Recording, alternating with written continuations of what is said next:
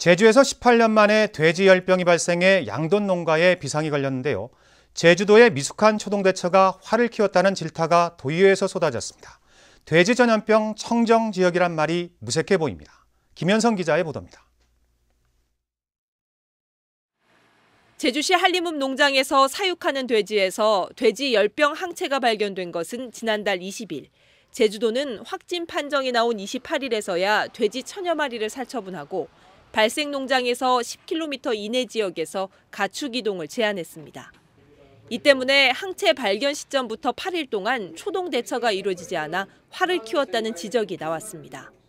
그때 판단이 잘못됐다는 걸 인정을 했어야죠. 그렇잖아요? 그때 이게 양성이 나왔으니까 그 당시에 이동 조치를 전부 내리고 어? 이렇게 해서 갔으면은 도축장에까지 도, 출라도 안 되고 그 백신 함, 항체의 경우에는 그 직접적인 바로 전파 우려라든지 이런 부분은 좀 약하다는 검역본부 판단 따라서 저희들이 부지사님, 그 결과를 부지사님 기다리고 있었던 그런 상황입니다. 약품이 모자라 돼지 살처분이 늦어진 것을 놓고도 가축 전염병 대비를 소홀히 했다는 비판도 제기됐습니다. 제주도에서 마취제가 모자라서 30마리밖에 28일 날 어, 처리를 못했거든요.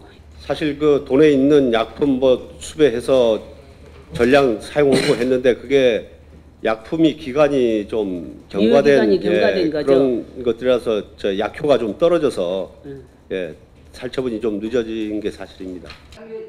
살처분을 한 뒤 사전에 정해 놓았던 매몰 예정지 대신 갑작스레 다른 장소에 묻는 바람에 제2, 제3의 피해가 우려된다는 질타도 이어졌습니다.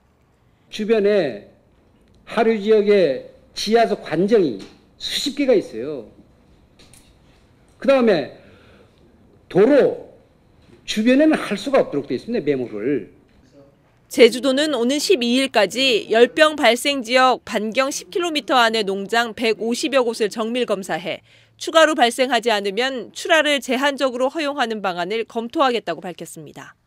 MBC 뉴스 김현선입니다.